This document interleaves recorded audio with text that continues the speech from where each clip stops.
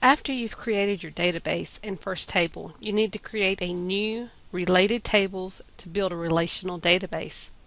Creating a table consists of these essential tasks.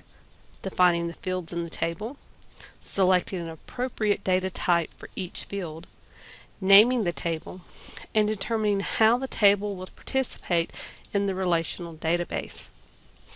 First, we're going to click the Create tab in the ribbon. You see what we are allowed to create now. From here, I'm going to click the Table Design button, which is this one.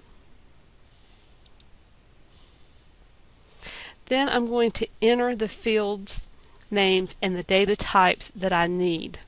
Here's the field name, here's the data type. You'll simply type in a field name, tab over, and we will select the data type. So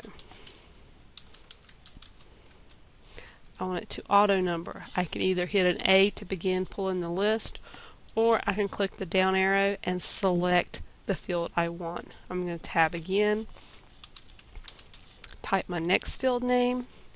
This one I want to be long text, so I'll select long text.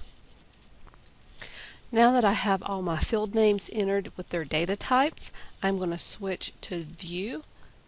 Over to the left, I'm going to select the View button, go to Data Sheet View, and it's going to ask you to save the table. I'm going to say yes, and I'm going to name my table Comments. Then I'm going to click OK.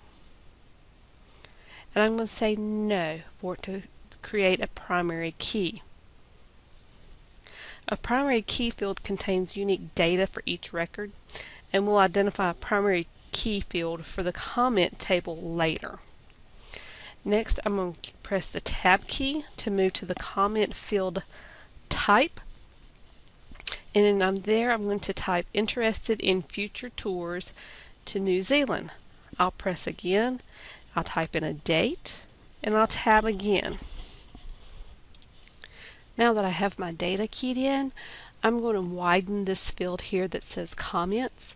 I'm going to place my cursor between the comment and the comment date, and you'll notice how my cursor changed. At this point, I'm going to hold my left mouse key down, and I'm going to drag my cursor to the right until I'm able to see the entire contents of this field. Next, I'm going to close out this table, and I can do so by right-clicking on the Comments tab and clicking Close. As you'll see, sometimes it'll ask you if you want to save it. I'm going to say yes. That way it has saved my comments. And that is how you create a table.